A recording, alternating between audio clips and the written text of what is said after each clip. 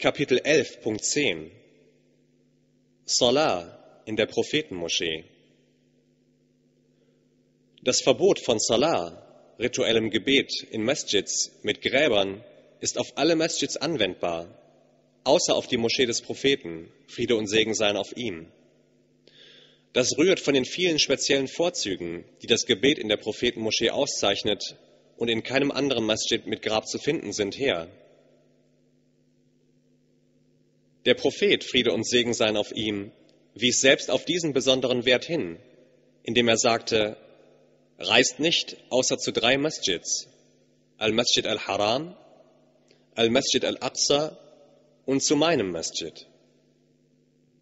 Er sagte auch, eine einzige Salah in meiner Masjid ist besser als tausend Salahs irgendwo anders, außer in Al-Masjid al-Haram. Er wies sogar einem Teil seiner Masjid einen besonderen Wert zu, indem er sagte, der Bereich zwischen meinem Haus und meiner Kanzel ist ein Garten von den Gärten des Paradieses.